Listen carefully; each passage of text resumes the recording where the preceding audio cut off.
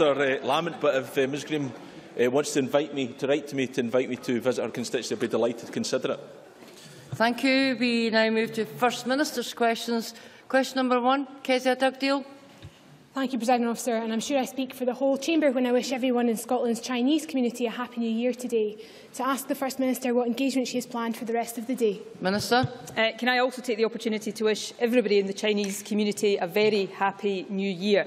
Uh, I will have engagements later today to take forward the Government's programme for Scotland. Today also marks the first anniversary of the Children and Young People's Bill. Can the First Minister tell us whether the proportion of local authorities reporting sufficient childcare for full-time working parents in Scotland is higher or lower than in England? First Minister. Well, of course, the fact of the matter is we don't yet have sufficient provision of funded childcare to meet the needs of all full-time working parents. That's precisely why this government is committed to a further substantial extension of the provision of childcare. We have said that if we are re-elected over the next Parliament, we will increase provision to 30 hours a week for all three and four-year-olds and for eligible two-year-olds. But let's look at the progress that has been made. Entitlement to early learning and childcare has increased to 600 hours. That's a 45% increase in hours for three and four-year-olds since 2007. That saves families an average of £700 per child per year. The uptake of that provision is high. The latest annual statistics were published in December and they show registration of three and four-year-olds at 98.5%. So this is a success story. But we still have work to do. I met in January with a campaign group, Fair Funding for Our Kids, to discuss the experiences of some parents who are having difficulty in accessing the childcare their children are entitled to in a way that suits their working patterns, and we're working to address that. So this is a success story, but of course we are determined to ensure that all parents and children who are eligible get the benefit of this government's significant expansion of free childcare. Yeah. The First Minister knows only too well that that promise for 600 hours was a promise she first made in 2007. It took her eight years to get to the point that she's at just now. And the answer to my question was, in fact, that it's lower than in England. The Family and Childcare Trust report, published today, shows that just 15% of councils in Scotland say sufficient childcare is being provided for families trying to juggle work and family life. It's 43% in England, and it's higher in Wales too. For so many working families in Scotland, childcare is essential and it can't be prescriptive. Some families need support first thing in the morning, others need it at the end of the school day. Can the First Minister tell us, has the number of councils in Scotland who report sufficient childcare for full-time working parents gone up or down in the last year? First Minister. to be uh, frank here, Kezia Dugdale is, is somewhat missing the point. I'm not standing here Order. and saying that we are yet in a position where we have sufficient funded childcare for all full-time working parents. That's why we are committed to a further extension of childcare to 30 hours per week. That will take us to the position where children in childcare get the same number of hours in nursery as children in primary school already get. But we have made significant progress. So when we took office, uh, the previous Labour administration were providing 412 and a half hours, that's approximately 14 and a half hours per week. We have increased that to 600 hours a year, a 45% increase. We're funding local authorities to the tune of £329 million to provide that. Now, Kezia Dugdale does make a, a reasonable point. It's the point I discussed with fair funding for our kids. There are some parents, and I stress some parents, who are having difficulty accessing their uh, childcare in a way that suits their working patterns. So two issues specifically were raised with me. The arrangements some councils have with partner nurseries that limit the number of funded places per nursery. And secondly, the limitations of the half-day place that is offered in council nurseries. Now, the two things that this government is doing to tackle that in the medium term are firstly the statutory obligation uh, under the Children and Young People's Act that we put in local authorities to ensure greater flexibility and to consult with parents. And secondly, the substantial increase in hours beyond what we're doing now that we're planning. The half-day place uh, ceases to be relevant when children are eligible to 30 hours per week. I've also tasked my officials to look in the shorter term at how we address these issues that some parents are having. But for goodness sake, this is a massive success story. We've gone from an entitlement of children to 412 and a half hours a year free childcare to 600 hours, and we've extended the eligibility for two-year-olds as well. So we'll continue to make the progress uh, from the rather derisory position we inherited from the last administration.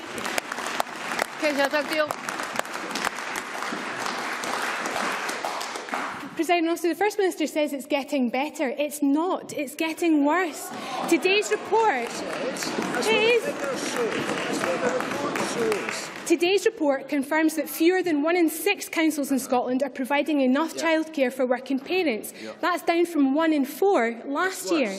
On the SNP's watch, things are getting worse for families trying to juggle family life. One year ago today... Order. One year ago today, this Parliament gave parents of three and four-year-olds the right to 600 hours of nursery care. We supported that. We voted for it. But today's report makes it clear that parents across Scotland are unable to access that right that we gave them. It's true that six weeks ago the First Minister met the Fair Funding for Our Kids group, and they haven't heard from her since. I spoke to them this morning, and in fact, Jenny Gorovin from Fair Funding for Our Kids said, they give us supportive words but precious little action. Oh. So there we go. They told her that thousands of kids in Scotland are missing out on childcare and that parents are having to give up their jobs as a result. The Fair Funding campaign asked for an audit of delivery of the 600 hours childcare policy so that we can see the scale of the problem and fix it. Will the First Minister audit, deliver that audit today? First Minister.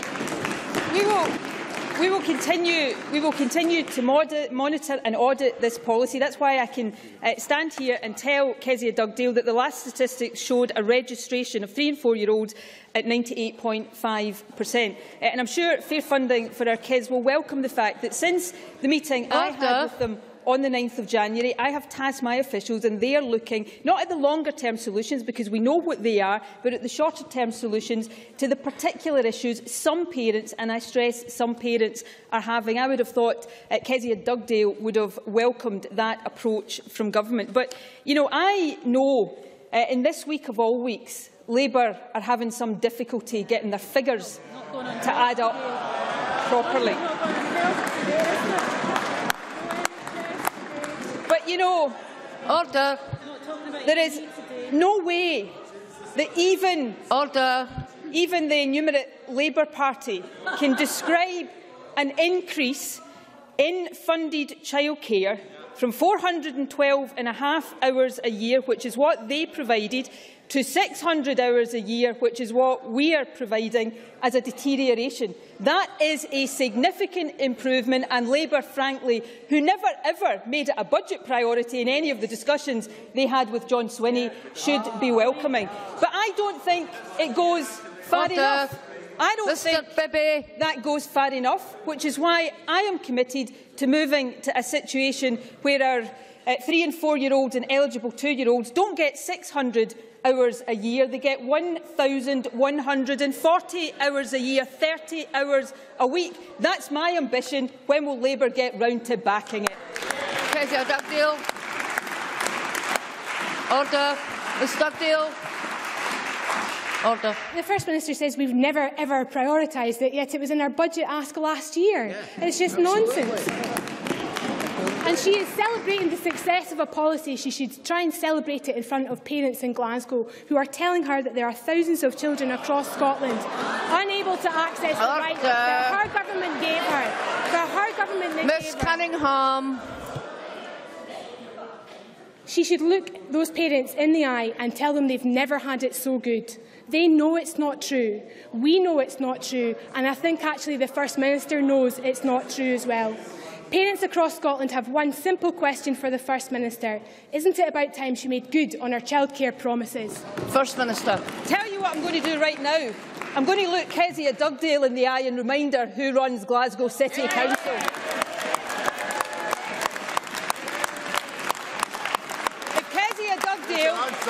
Has got Order. If Kezia Dugdale has got issues with the delivery of the child care policy in the city of Glasgow, I suggest she should make an appointment and speak to her Labour colleagues who run Glasgow City Council. Now, 98.5% of three and four-year-olds registered for free childcare. Uh, I did look parents in Glasgow who have frustrations about the delivery of this in the eye and I committed to them that we would work to deal with those issues. But no matter how hard Kezia Dugdale tries, and no, she isn't asking about the health service Absolutely. this week, I wonder why. But no matter how hard Kezia Dugdale tries to manipulate the figures, she cannot get away from the fact that an increase from 412 and a half hours of free childcare to 600 hours is a significant step forward under this government. And if we are re-elected, and let's face it, while there's no complacency, all of the polls today suggest we may well be, then we will take that to 30 hours a week for three and four-year-olds and eligible two-year-olds. This government has delivered on childcare and we will continue to do so. Question two. Ruth Davidson. Order. Ms Davidson. Thank you, Presiding Officer. To ask the First Minister when she'll next meet the Secretary of State for Scotland. First Minister. Uh, no immediate plans. Ms Davidson. Thank you. Presenting Officer, on December the 11th, the First Minister told me in this chamber that when it came to education, she would always keep an open mind about educating our children. She added, and I quote from the official record, I will listen to ideas from wherever they come. Well, there's an idea out this morning. The parents of St Joseph's Primary School in Milngavie are campaigning to keep their school open. They want to take the school out of the local authority control and to run it as a trust. They insist that education elsewhere in the area will be unaffected. They just want their children to get the education that they believe in in the town where they live. So given what she said in December of last year, will the First Minister today commit to meet the parents, to listen to their concerns and to examine their proposal with an open mind?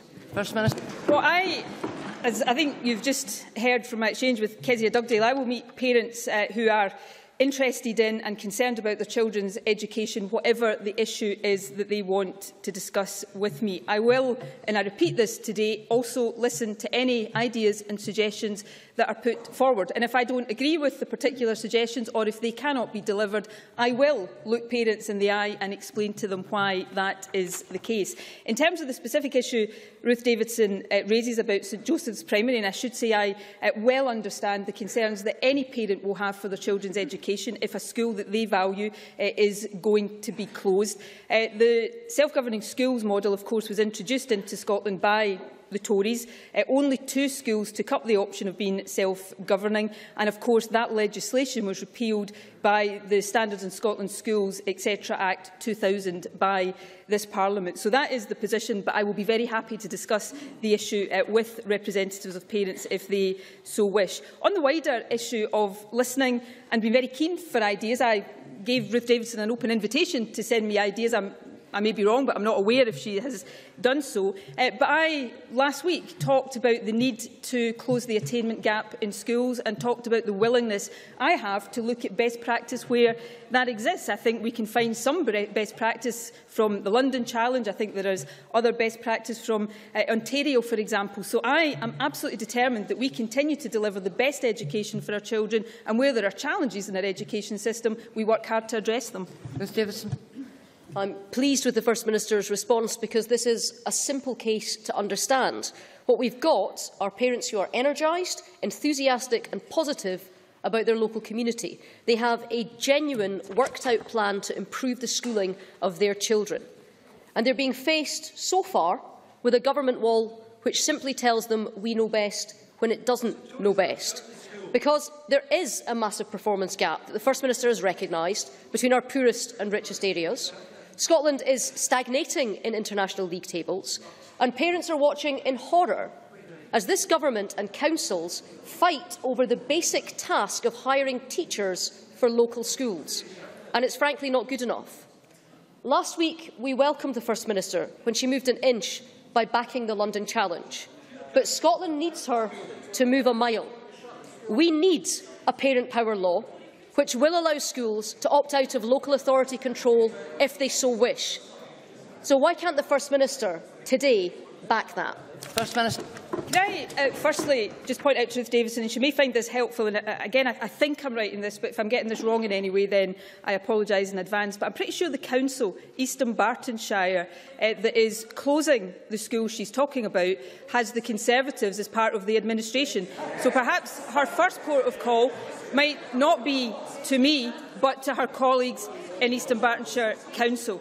Uh, but on the general issue, I mean, Ruth Davidson is well aware of the position in terms of grant-aided schools in terms of grant-aided schools in Scotland, uh, the Scottish Government currently funds eight grant-aided schools. Seven of those are special schools because they tend to be for national centres of provision, and I've already outlined the position in terms of the repeal of the former uh, legislation. Uh, but I've said I'd be happy to speak to those parents and perhaps, uh, as well as discussing this issue, uh, advise them on how they can persuade the Tories in their local council to take a different decision on the school. In terms of the uh, other issues Ruth Davidson raises, can I just say in terms of teacher numbers, um, I make no apology for drawing a line in the sand uh, in terms of teacher numbers. I want to maintain the numbers of teachers working in our schools because I see that that is important to raising attainment. And I would hope both Labour and the Tories would tell their own councils that they should be backing that as well. This is the question. Cara Hilton. Um, it was revealed this week that Longannet Power Station in my constituency is facing renewed threats to its future, with talks apparently breaking down between Scottish Power and the national grid.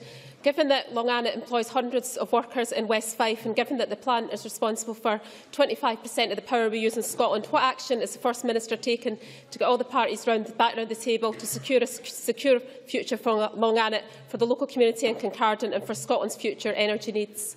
First Minister. Uh, I very much share the concerns of the member about the future of Longannet and I think she is absolutely right to be raising this in the chamber today. She is probably aware that I wrote to the Prime Minister on Monday uh, asking him, uh, to, well, making sure he is aware of the serious threat to the future of Longannet. Uh, to put this in a nutshell, uh, Longannet is under imminent threat because of the costs it faces uh, in connecting to the grid. It costs it £40 million, pounds, where a power station uh, in London or the South East would get paid £4 million pounds to do it. It is deeply unfair, and the UK Government, in the interests of Longannet, in the, in the interest of the people who work there, but also in the wider interests of Scotland's security of energy supply, really needs to intervene and help us get this sorted out.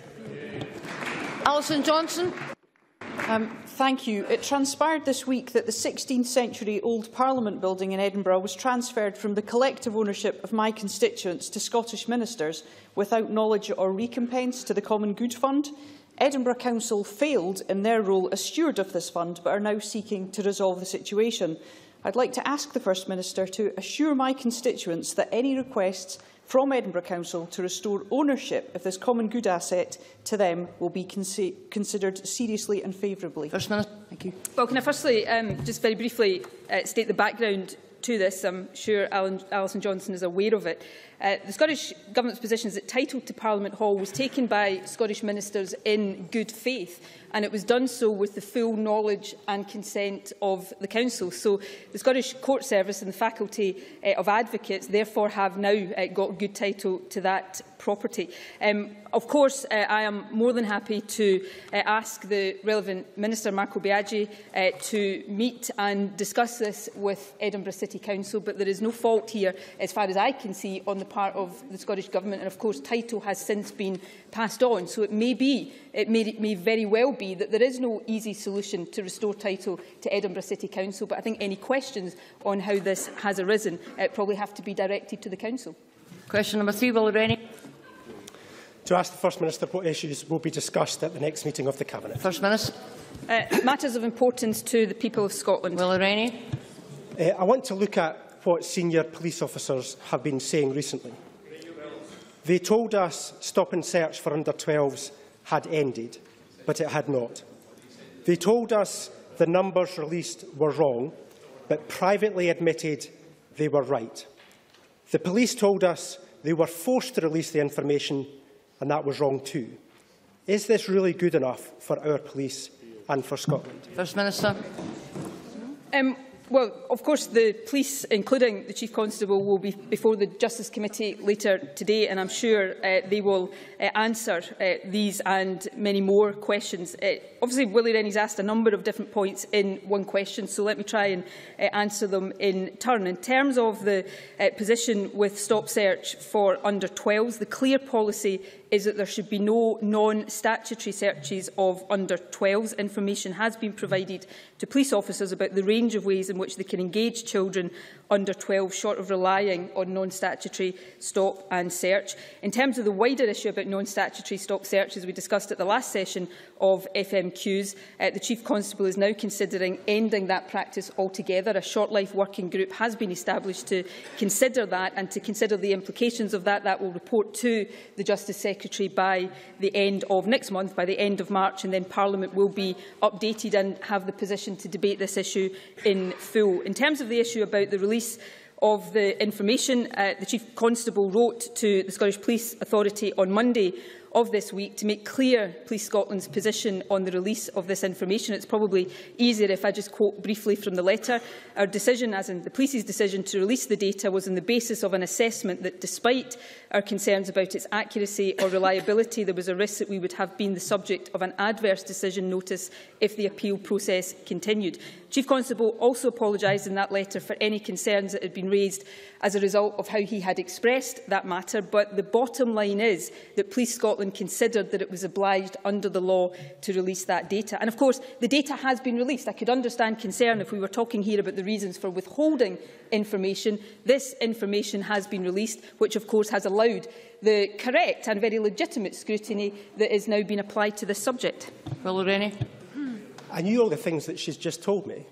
What I want to know is what she thinks about it. I want to know her opinion about what has been happening to police officers, what they have been telling this Parliament over the last six months, and their failures to be straight with this Parliament about these facts. The Police Code of Ethics reads, how we deliver is as important as what we deliver. That's exactly what I'm concerned about. And I'm sure she recognises, and she must recognise, that trust in Police Scotland has been shattered because of these series of events. There is clearly something Order. wrong. There is clearly something wrong with the system that her government created. What's she going to do about it? First Minister. Well, the first thing I will uh, continue to do is support our police in the hard and vital job that they do on our behalf, day in and day out. Now, in terms of questions about uh, what information the police have given to parliamentary committees or to the Scottish Police Authority. They are rightly before the Justice Subcommittee later on today and they will answer those questions. I think the bigger issue here and the substantive issue is about the future of non-statutory stop searches. Uh, I said, and I think I made my view uh, quite clear in the last session of FMQs, if Willie Rennie wants my opinion on things, is that the situation around non-statutory stop searches is unsatisfactory at the moment. It's unsatisfactory because of the degree of public understanding about it, and I guess it's also unsatisfactory because of the degree or lack of uh, public acceptance of it. And that is why the Chief Constable has been absolutely correct to say that he is now considering ending that practice. But clearly, there are practical implications of doing so. And that is why the process that is now underway through the Short Life Working Group is the right way to do this. By the end of next month, that will have reported to the Justice Secretary and Parliament as a whole, if Parliament is so minded, can debate this as a whole. Uh, it is vital, and Willie Rennie, to this extent, is correct. It's vital that we have uh, total trust in our police service. I trust our police. I have confidence in our police and I will continue to back our police in the work that they do. Question four, Christina McKelvie. Uh, thank you very much, President Officer. To ask the First Minister what impact ongoing austerity will have on the finances available for public services in Scotland. First Minister. Well, over the course of the current spending review, the Scottish Government's discretionary budget has been cut by nearly £2.9 billion in real terms. All three Westminster parties have signed up to deliver billions of pounds of further cuts over the next parliamentary term. Coalition plans amount to cuts of around £1,800 per head on day-to-day -day public services between 2009-10 and 2019-20. These cuts have imposed and will continue to impose a significant burden on households across the country. Of course, there is a need to reduce the deficit, but I believe it should be done more gradually than either of the largest UK parties is proposing. I believe it's time for a clear alternative to austerity. Plans that will get the deficit as a share of our GDP down, but also allow us to spend the money on infrastructure, innovation, protecting our public services and protecting the vulnerable. And I'll be proud to argue that alternative to Labour-Tory austerity in the weeks ahead. McKelvey. Can I, I thank the First Minister for, for that answer and, and thank her as well for the passion in which she has put into this, especially around... Order! Around... Oh, they don't like it, eh? Around the... Can we just get a question, Ms McKelvey? Around the impact of women in our society, I think it's around 85% of all welfare cuts is a direct impact on women, usually low-paid women. Can I ask the First Minister what measures she would be taking as the Scottish Government to mitigate the impact on the hard-working, low-paid women of this country? First Minister. Well, research by the House of Commons Library shows that more than three quarters of the impact of the UK Government's tax and welfare changes is being borne by women. That is outrageous, a scandal, completely unacceptable. Uh, disabled people are also losing out. In Scotland, it's estimated that more than half of those who claim disability living allowance will see their benefits cut by at least uh, £1,100 a year. And of course, the IFS found that the changes to the tax and benefit system are harming the poorest 10% of households more than any other section of the population. That's the reality of Labour and Tory austerity plans. So we'll continue to make the case for a more rational and more compassionate economic policy at Westminster. And if we have influence in that Westminster Parliament, we will be a voice against Labour-Tory austerity, a voice standing up for the poor, the vulnerable, women and our public services. Question 5, Iain Gray. To ask the First Minister what plans the Scottish Government has to allow schools to delay the implementation of the new advanced higher qualification. First Minister. The Scottish Government has no plans to delay the implementation of the new advanced higher. Iain Gray. Uh, there's no one, I think, who would think it ideal were these new exams to be delayed. But when the EIS say that pressure means the advanced higher might be marginalised or dropped, when the NASUWT says levels of workload are unsustainable, when head teachers tell a committee of this Parliament that the situation is a total disaster, surely we have to listen and take some action. Is Seamus Searson of the SST I need a question, not Mr. right Gray. to be alarmed? Is he not right to be alarmed by the lack of respect for teachers' professional judgment shown in this matter by this government? First Minister. Well, we will continue to discuss with and listen to uh, teachers' unions, and the Education Secretary does that on a, an ongoing basis. Uh, the level of change, of course, to advanced hires is very different to that for hires, and of course there has been a year of dual running of the old and new hires. The content of advanced hires has changed less than was the case for highers. Uh, teachers have been provided with a great deal of support over the last two years to help with the implementation of the new advanced highers um, and there is no evidence in our view to suggest that dual running is necessary. But we will continue to discuss these matters as we have done uh, throughout uh, with teachers and with teachers' unions and we will continue also to agree with teacher uh, unions when they say, like we do, that teacher numbers in our schools should be maintained. Question six, Margaret Mitchell. to ask the, First Minister what the Scottish Government's position is on prescribing methadone to drug users as a rehabilitation process. First Minister. Uh, the Government is committed to tackling the damaging impact of drugs in Scotland through our national drug strategy, The Road to Recovery, which of course focuses on the needs of the individual and provides a range of interventions. Opiate replacement therapies, including methadone, are just one component in a package of care, treatment and support that can be offered to individuals to help them recover from drug addiction. Opioid replacement is an essential treatment with a strong evidence base and the use of methadone remains a central component of the treatment for opiate dependency. That's a view endorsed by the Independent Expert Group on Opioid Replacement Therapies in its report to the Scottish Government in August 2013. Margaret Mitchell. I thank the First Minister for that answer. Is she aware that over 40% of all drug-related deaths in Scotland are now linked to methadone, compared to 14% in England? Given this and the lack of information about the number of individuals who have become drug-free using a methadone programme, does she consider the policy on prescribing methadone is fit for purpose? First Minister. Well, I've already in my initial answer uh, outlined the role that methadone plays in a wider drug strategy.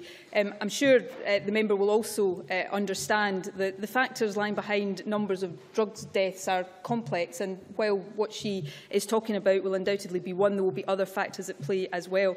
Um, in terms of the, the prescribing of methadone, it is the case for uh, the third successive year, there's actually been a decrease in the dispensing of opioid replacement therapies in the community, including methadone. The quantity of methadone dispensed in the community and indeed the total cost involved of it has also decreased for the last three years. So clearly there are big issues here uh, in terms of how we get to grips with drug addiction and help those uh, who suffer from drug addiction. Uh, but methadone has a role to play. She's right to say it's only part of the solution and we must be very careful about it. But I hope the figures I've cited uh, to her give her some reassurance. And I know the Justice Secretary would be happy to discuss it with her in more detail if she so wishes. Thank you, Uh, the First Minister will be aware that the expert review of opioid replacement therapies published uh, in August 2013, which found that only a quarter of alcohol and drug partnerships held detailed information as to the length of time that individuals had been on opioid replacement therapies such as methadone.